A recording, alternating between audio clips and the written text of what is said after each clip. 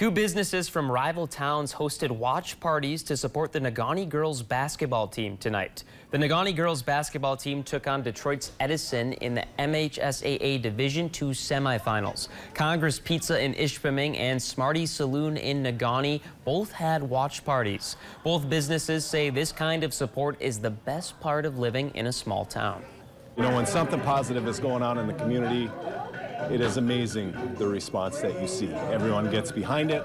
Um, it's just a great vibe, good energy, and you know we're all hopeful the kids can can move along and, and bring home some state titles. Because we're a small community and support for little things or big things is what gets us through.